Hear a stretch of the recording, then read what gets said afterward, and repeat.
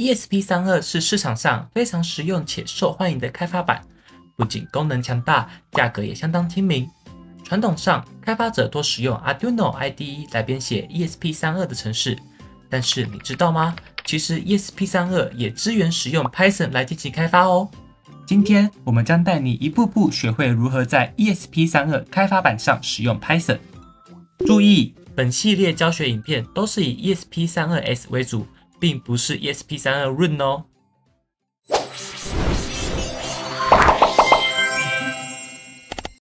Phony 是一款专门为 Python 所打造的整合开发环境，支援 Windows、Mac 和 Linux，甚至是树莓派作业系统内建的开发工具。首先打开 Phony 官方网站，在右上角点击与你电脑作业系统相对应的下载选项。因为我的电脑是六十四位元，所以下载 x 六四的版本。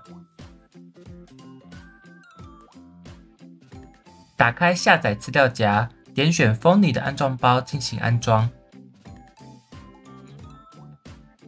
依序点击下一步，选择我同意条款，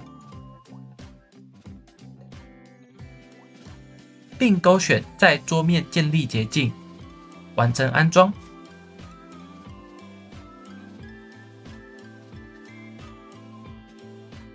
接着要确认 ESP32S 是否有成功跟电脑连接，搜寻装置管理员，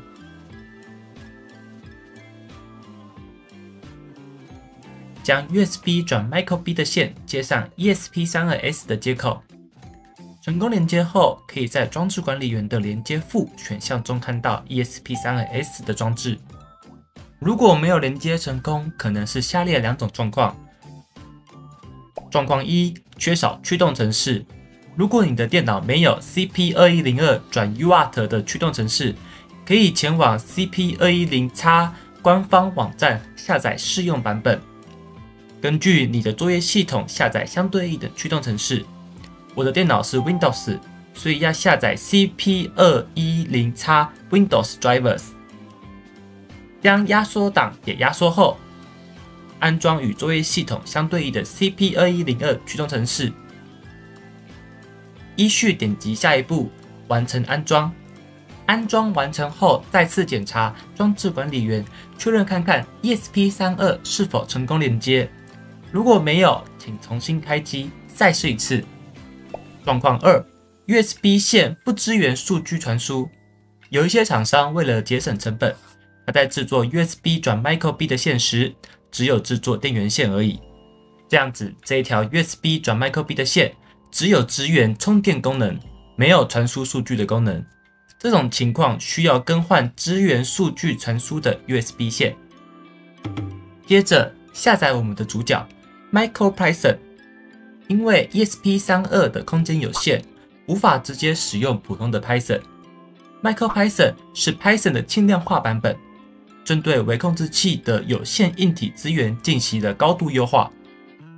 首先前往 MicroPython 的官方网站，点击下载，依序选择 ESP32、ESP32 斜线 ROM，下载相应韧体。若使用 USB 烧录，请避免选择点 App Bin 格式。打开 Phony，打开后。可以看到 Phony IDE 的操作画面，上半部分是程式编辑器，下半部分是互动环境。如果我们要在微处理器上执行 MicroPython 的话，要先在 ESP32S 的板子上烧入 MicroPython 的韧体，将 ESP32S 开发板接上电脑，选择主功能表的工具选项，点选直译器的标签，点选 ESP32 类型。和对应的 USB 序列副，在右下角选择安装或更新韧体，选择要更新的 ESP 类型。我们这里选择 ESP32，在更多选项中选择刚下载的 MicroPython 韧体，点击安装，开始烧录。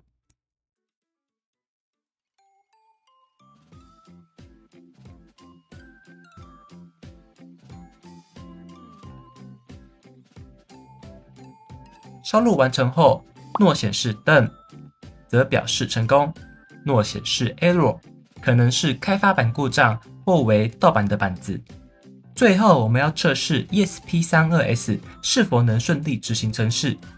每一个程式教学的第一步，Hello World，选择主功能表的检视档案，在 MicroPython 设备的视窗里点选滑鼠右键，建立新档，档名名称取为 man 点 py，接着在程式码的第一行打上 print 括弧分号 Hello World 分号括弧。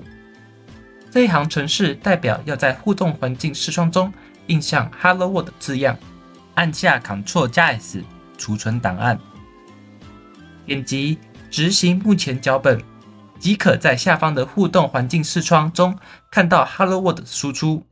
以上就是 f o n y 的下载与安装教学。如果你喜欢我们的内容，请帮我们按赞并订阅，让我们有更多动力制作下一集。